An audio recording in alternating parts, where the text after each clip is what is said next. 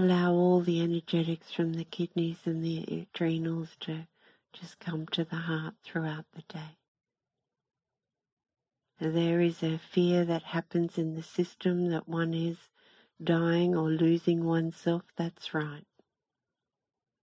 Yet you, where you're going is to where all your yearnings and beyond, even not even conceived or conceptualized your, your, your yearnings will be there in actualization.